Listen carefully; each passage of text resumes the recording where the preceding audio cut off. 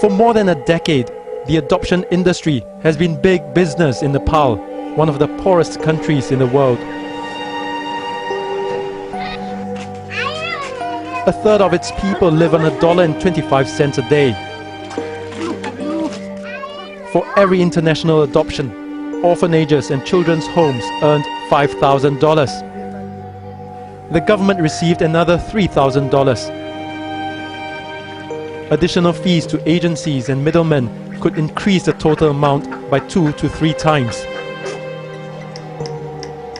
Since the year 2000, families, mostly from North America and Europe, adopted more than 2,400 Nepali children. In 2007, Nepal stopped international adoptions for two years to investigate claims of child trafficking. But law enforcement was weak when it resumed.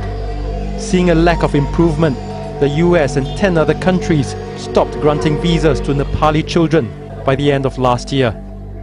They do not have a system that we believe is sufficient to protect children and for us to be able to be sure that the child is in fact an orphan. The parents are told, your child is going to go to Kathmandu and get an education, and then he'll be able to come back and support you. When the children often get to Kathmandu, they are put into care, they're put out to work. Some of them are adopted without their parents' permission. These are not orphans. In response, Nepal's government suspended international adoptions for abandoned children. Often found in hospitals or near police stations, it was easy for children's homes to take them in, falsify their papers, and present them as orphans for adoption. While waiting for new laws, the government says there have been no international adoptions this year. But the crackdown is too late for many people.